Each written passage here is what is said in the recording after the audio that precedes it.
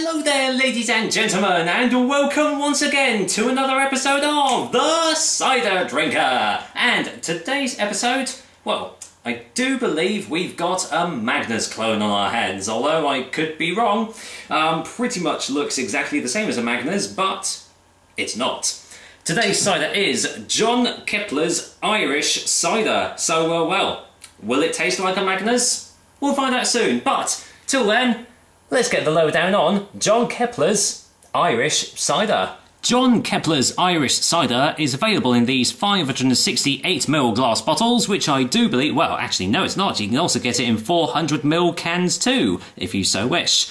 The alcohol percentage is a pretty bog standard 4.5% ABV, and it doesn't say what sort of taste it's going to be like on the bottle. Um, and it was pretty cheap to buy as well. I got this for uh, a quid from Home Bargains, so yeah, haven't paid much for it, so let's get on with the taste test. So, well, yeah, you pretty much saw anyway, but uh, yeah, it pretty much has the same shape as a Magners, um, has the same sort of design as a Magners, even with the old uh, foil on the top there as well. Um, so yeah, it looks like a Magners. Will it taste like one? Who knows? Um, not much gumph as usual. Premium Irish cider. Uh, John Keppler's pretty plain label on the front as well.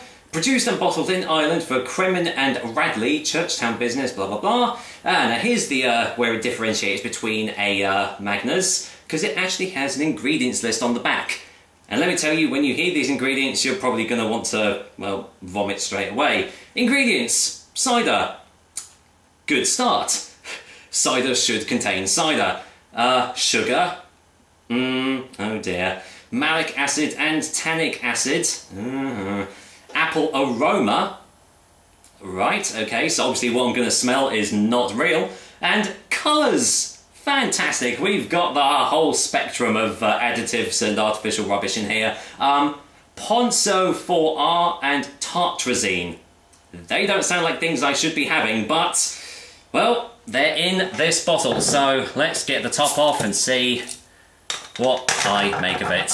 Um, it's quite a nice day, so I kind of need a drink. I'm hoping it's going to be good. Let's go in for the smell. It smells, uh, well, it just smells of sulfites basically. No real apple aromas at all, even though it says there is some. Yeah, I'm just getting just getting sulfites. That's pretty much it. So let's get poured into the glass then. Highly doubt there's going to be uh, sedative in this. If it looks like I'm a bit uh, bit worn out or something, it's because I've just done the workout. So uh, Please excuse that. But uh, there we go. I won't pour it all in, just in case it's not that good. And let's go in for the uh, colour. And from where I'm looking, it looks... It actually looks like urine. It's got a re it really has got a like a greenish tint to it, um, just on the side there. Massive, massive hefty carbonation as well. Uh, hmm, Still not looking that good in the glass, to be honest. But, uh, well, do I actually get any more aromas on the glass? Nope. Still just getting those sulfites. Uh, so, pretty bland so far. Will it taste bland? Let's find out. Cheers, guys. Here's to uh, John Keppler's Irish Cider.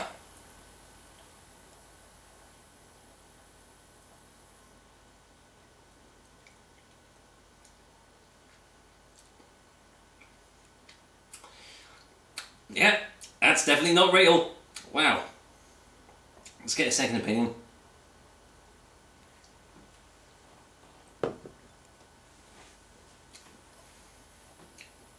Wow. Never thought I'd say this. I've got a fruit fly over it as well. That just shows you how, uh, go away. There you are. Um, I never thought I would say this, but I'd actually pick Magners over that. That's, uh, you know what? Sorry, there's a blooming fruit fly over it. There we go. Got the bugger. Um, yeah, as I was saying, I would actually choose Magners over this drink. It actually tastes so much more artificial and fake than Magners does. I didn't think that was going to be possible, but this one has, um, this one's done it.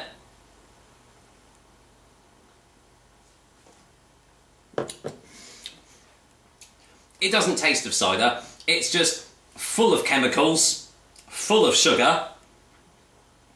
Oh, finding it really hard to um, re really hard to drink this because it's just so thick in its consistency and not in the nice kind, you know, where you get the full-bodied um, mouthfeel. No, this is just so full, cram-packed full of sugar that it just instantly just jams up your throat. It's just so, so artificial. Um, yeah, this is not good. Um, I know it's like half the price of a Magners these days, but I wouldn't even get it for a quid. Definitely not going to get this one again, that's for sure. So, uh, well, let's go with a final taste before the final verdict anyway.